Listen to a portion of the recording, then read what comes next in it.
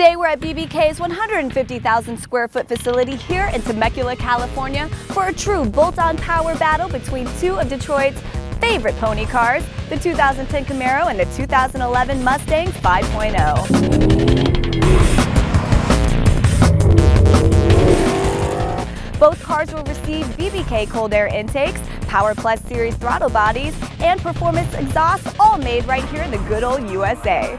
We're going to dyno each vehicle after the modifications are made and crown a winner in each section as well as best total power gain. So Blue Oval and Bowtie fans, get ready because these two sexy hot rods are about to get it on.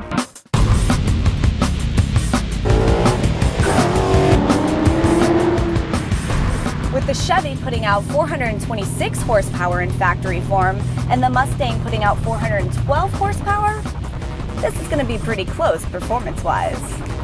Representing the Camaro and the Mustang in this shootout are going to be BBK's owners, Ken and Brian Murphy. All right, boys. I gotta say, I love that beautiful piece of machinery out there. So, uh, who's with me on the Camaro? I'm with you, Jessica. You know, bigger is better. 6.2 is always better than 5.0. hate, hate to disagree with a pretty gal, but the Mustang's gonna shut it down. Really? So you're pretty confident about this, Absolutely. huh? Absolutely. And how about you? Confident? No, I'm confident. All right, boys, let's get it on. Starting out, the Mustang baseline was 370 horsepower with 340 foot-pounds of torque. The Camaro baseline with 357 horsepower and 360 foot-pounds of torque. So it looks like the Mustang is ahead as far as horsepower and the Camaro is ahead as far as torque. The first bolt-on of the day is BBK's cold air intake. Both of these systems feature a chrome finish intake pipe and include a washable, high-flow conical air filter and custom shroud to block out engine bay heat.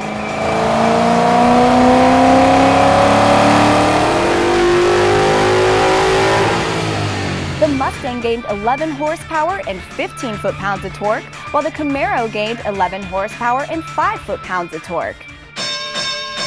Well, we're all done with our first test, and how are you guys feeling about the performance gains? You know what? I'm pretty impressed with the gains. Yeah, cold air systems are one of our most popular bolt-ons, and they're available for Mustangs, Camaros, Challengers, etc. Bolt-on in about an hour or less, and 10 to 15 horsepower. All right. Yeah, Very impressive. BBK offers multiple sizing options when it comes to their throttle bodies. But for our Mustang, we're using an 85 millimeter version with electronic throttle control. For our Camaro, it's going to be a 95 millimeter, still with the electronic throttle control, but using the factory drive motor. The Mustang came in with a gain of 2 horsepower and 6 foot-pounds of torque, while the Camaro gained a bit more with 10 horsepower and 9 foot-pounds of torque.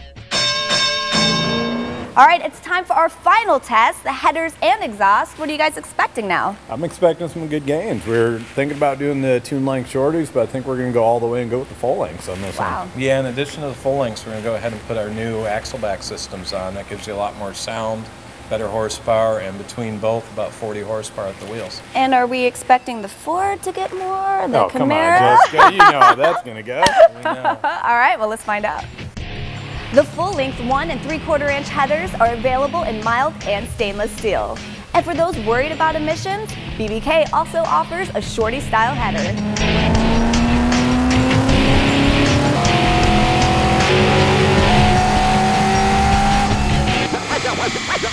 Y'all ready for this? Well, it's the moment we've all been waiting for. It's time to see who won our shootout. And uh, Brian, standing by this lovely Camaro here, pretty confident, right? Feeling confident with the Camaro. All right. But you, Ken, Standing by the Mustang. you're standing by it, so you must think it's a winner, right? Absolutely. well, you know what? I'm not here to crush any dreams, but I do have the results. Ah. Brian, it looks like your Camaro came out on top as far as torque. Yeah.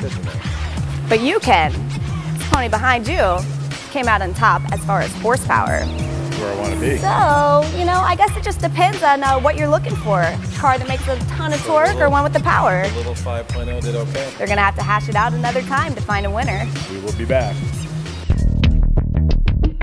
The Camaro gained the most torque while the Mustang gained the most horsepower in our shootout, so there was no real loser here.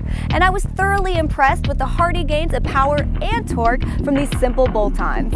Not only will they get you more ponies from your late model muscle car, but the guys at BBK will give you the peace of mind knowing that you're buying American-made parts for your American muscle car.